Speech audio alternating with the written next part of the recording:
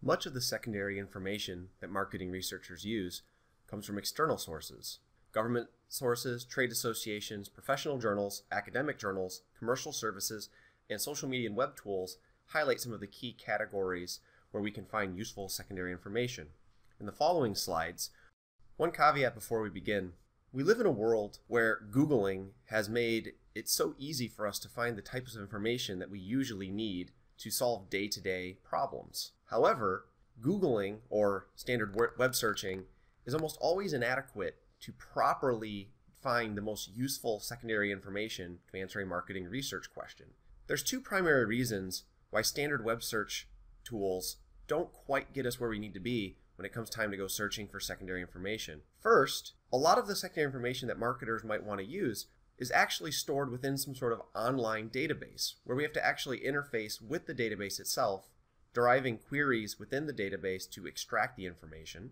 So that means we need to know where those secondary databases are, and we'd have a deep, intimate knowledge of what those databases can provide to us. Google won't do that for us. Secondly, a lot of the useful information that we want to have gain access to is hidden behind paywalls. Trade associations, for example, often collect useful information to marketers, but then they hide that information behind a paywall that you have to subscribe to or pay for the report. Luckily for us, in many cases, our academic libraries also aggregate this, the same types of information.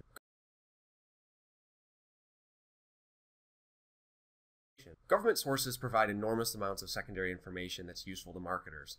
This can come from local, state, national, and international government sources. The example that we're going to use here is perhaps one of the most common sources used by marketing researchers in the United States, and that is secondary information that comes from the United States Census Bureau. Now, if you go to the census.gov website, there's numerous different tools that the census has built out to make it easy and useful to search from the, uh, the wide variety of information they have available.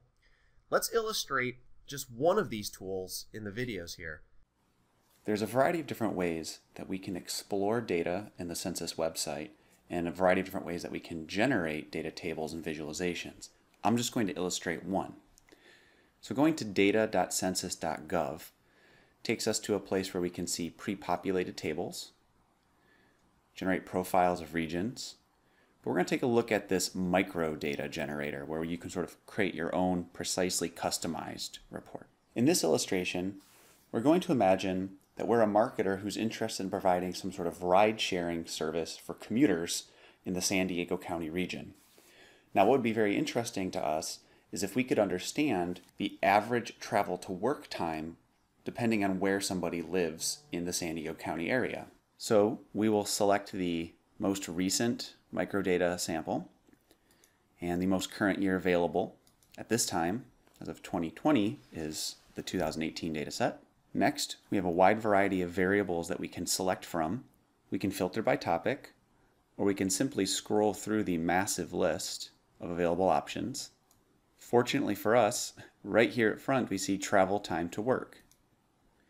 Clicking on the details provides us information that tells us that the travel time to work is 1 to 200. So for the few people who may travel more than 200 minutes to get to work, they would just be coded as 200. We'll ignore that issue. That's probably not particularly relevant for us. And for someone who's not a worker or worked at home, they'd be coded as zero. We're going to eventually want to ignore these individuals because they're not even relevant to our understanding of what travel time looks like. So we select our variable. Next, we select the relevant geographies. And we don't want to look at region, division, or state, we actually want to drive much deeper into micro data areas. I can scroll all the way down to San Diego County, and unfortunately I have to select each one of these individually.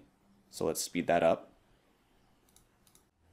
Okay, with all of our areas selected. Next, we'll select our data cart. Remember we selected our travel time to work variable where we want to exclude those individuals who are not a worker or work for home, so the NA responses. Obviously, if we included these individuals, it would decrease the average time. And now we simply go ahead and view our table. And we've successfully generated information about travel time to work. And by clicking here, let's see if it sorts it. Sure does, sorts it by low to high. And for those of us familiar with San Diego County, we may not be too surprised with some of these results uh, individuals who live around Clairemont, Kearny Mesa, the Mira Mesa University Heights area tend to have the lowest travel time. From here, if we wanted to make this table look work professional or wanted to integrate it with any other parts of our analysis, we could of course download and share and modify that.